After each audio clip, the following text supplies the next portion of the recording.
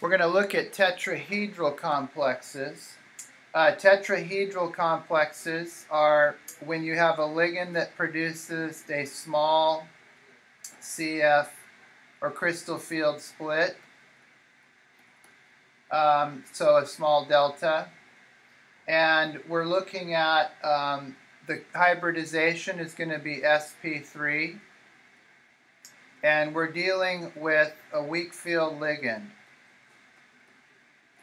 So keep those things in mind. And then in the next video, we'll look at square planar complexes. Okay, so um, usually a lot of times we're looking at D8 um, metals. Such uh, a good example is nickel. And we're going to look at nickel 2 with water, a weak field ligand, and there's only going to be four attached, again, because we're sp3. So first, um, let's look at the hybridization. So we have uh, eight electrons.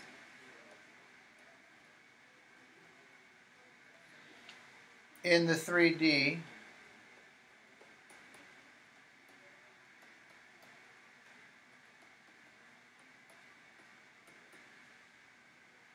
And we have a weak field ligand.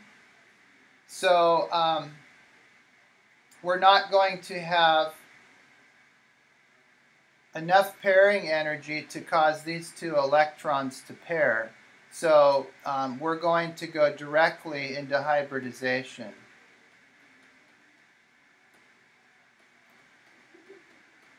And we're going to hybridize sp3.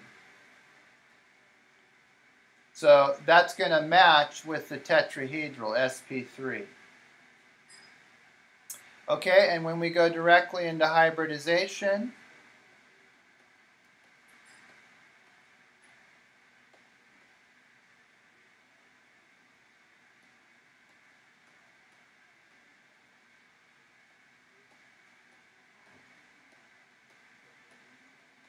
we can see we have two uh, unpaired electrons. And our ligand is going to come in here. So we're going to have uh, 4 sigma H2O bonds, or the coordinate covalent bond. And because it's sp3, it's tetrahedral. Okay, now we want to look over um, on the right. We're going to look at the crystal field diagram.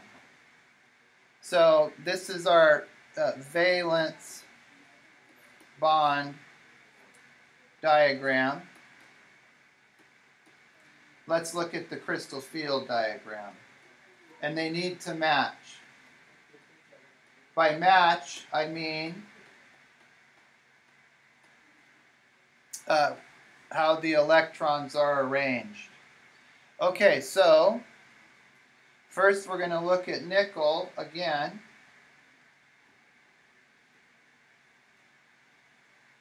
So this is going to be our 3D. And we're going to get a small split. So this is going to be dxy, d yz and dxz. And again, it's a small split.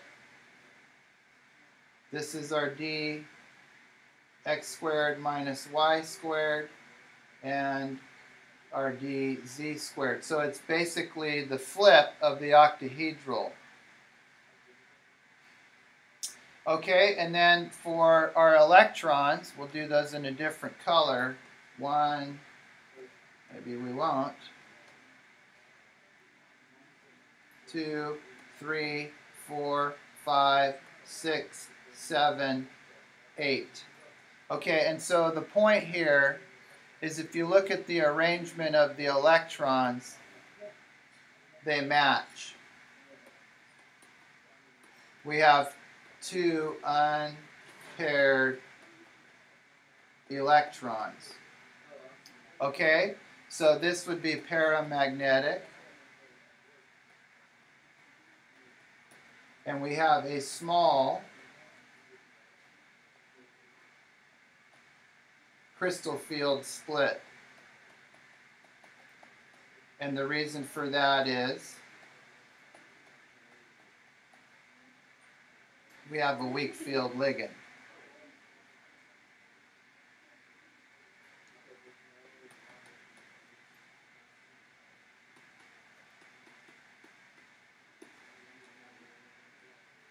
In a later movie, I'm going to show you uh, nickel uh, with cyanide, a strong field ligand, and we'll see that it comes out much differently.